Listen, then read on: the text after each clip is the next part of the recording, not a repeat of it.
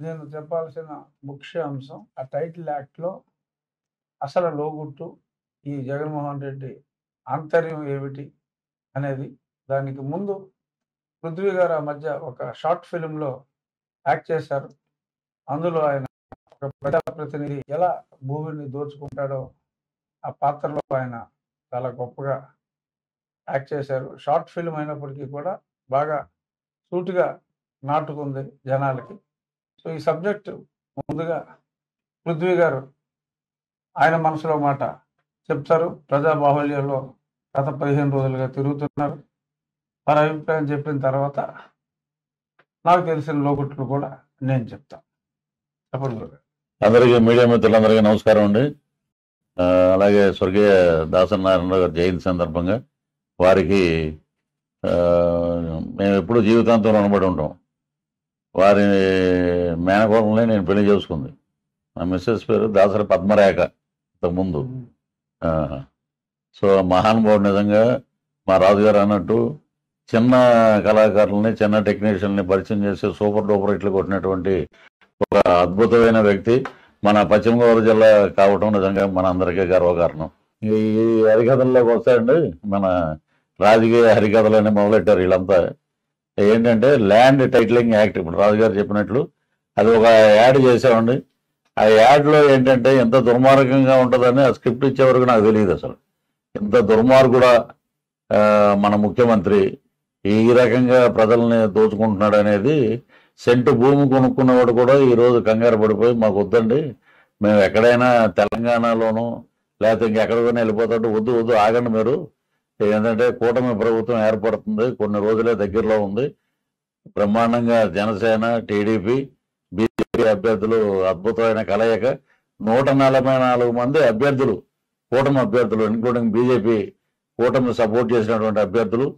అలాగే మా పశ్చిమ గోదావరి అన్ని రంగాల్లో అందరిలో ఒక ఏ పార్టీ అయినా గతంలో మనం చూస్తే రఘురామకృష్ణరాజు గారిని మనం ఆహ్వానం చేస్తే మనం గెలిచినట్టే అని అనుకున్న విషయం ప్రజలందరికీ తెలుసు. ముఖ్యంగా మన జిల్లా వాసులకి సుపరిచితం. మా రాజమౌళి గారు త్రిపులార్ తీస్తే మా రఘురామకృష్ణరాజు గారు అక్కడ ఎంత పెద్ద హిట్ ఇక్కడ అంతకన్నా పెద్ద హిట్ ఇక్కడ. ఎందుకంటే ఒక పార్లమెంటు సభ్యుడిని గౌరవించలేనటువంటి సంస్కారహీనుడు ముఖ్యమంత్రి.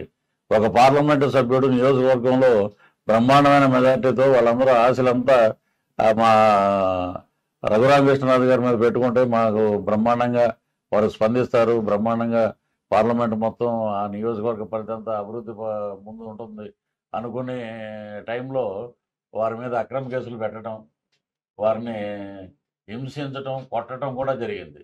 ఇది ఇంత దౌర్భాగ్యం ఇక్కడ బ్రిటిష్ వాళ్ళు కూడా చేసి ఉంటారు అలాగా. అలాంటి వ్యవస్థని ఎదుర్కొని గత నాలుగున్నర సంవత్సరాలు వారికి నిద్ర లేకుండా చేసి ప్రజా కంటకుల వాళ్ళ మీద విజయం సాధించినట్లే అంటున్నారు ప్రజలు ఎక్కడైనా. ఆ ఉండిలో ఎక్కడికి మనం వెళ్ళినా కూడా బ్రహ్మరథం పడుతున్నారంటే ముఖ్యంగా అగ్రస్థానంలో మహిళలు ఉన్నారు. అలాగే బడుగు బలహీన వర్గాలు రైతులు అందరూ అన్నమాట.